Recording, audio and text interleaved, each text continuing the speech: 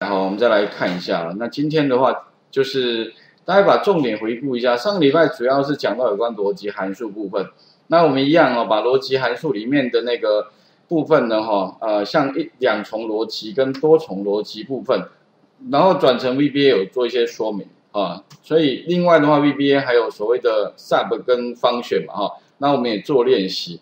啊，再来的话有补充一些格式的相关的部分，就是说怎么样在呃，不同的资料上面给不同的字的颜色，有没有？哎，这很重要。然后呢，变更字的底色，还有框线，还有出体等等的。那这些东西的话，你可以借由逻辑判断，把不同的资料给不同的样式。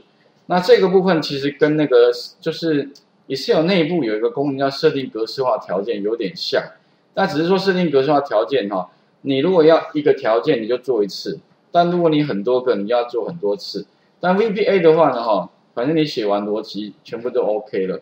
我是觉得啦，哈，如果以我来做的话，但用我习惯还是写写程式来解决。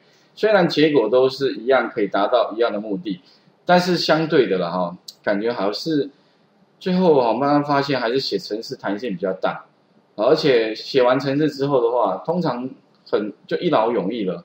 好，你以后的话呢，就稍微改动一下程式，就可以做出你要的结果。另外后面有补充一个绘制框线，哎有没有？如果说你报表输出之前，你希望把它画个框线的话，那我们上个礼拜讲过，框线，哎画红线最简单。然后呢，可能就是有中间那两条线，十字那条，把它画成双线，好，那就是用那个 borders 点什么 lifestyle 等于什么 xl double 就可以了。好，OK，应该如果忘记的话，云端上面也有。另外的话，哪一条线的话，borders 刮胡后面他会问你说，到底是下面呐、上面、左边、右边哪一条线？那你跟他讲那一条线，好，其实就可以帮你画出来。那另外的话呢，我们就是在讲到有关那个表单的设计部分。所以呢，上个礼拜的东西，我们大概重点回归，就是这个地方的话啊，就是当然啊丢公式，好，然后清除，再把它不是丢公式，一个乘积，然后一个多重。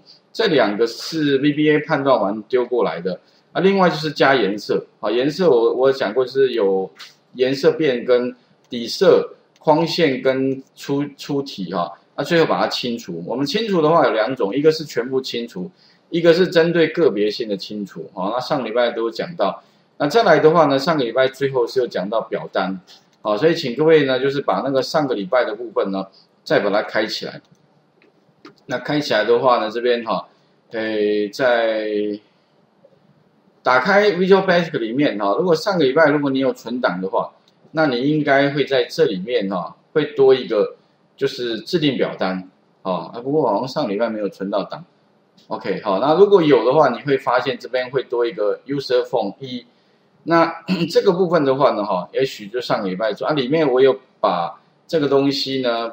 啊，就是在我们的云端白板里面，那逻辑函数部分的话，你就开启那个，诶，我们的哪哪一个单元？就是在这里面的话，请各位找到哈，逻辑函数里面的这个哈设计表单部分，或者你程式码里面好，我记得也有哈，你把它打开之后，会有那个上个礼拜要做到的表单画面。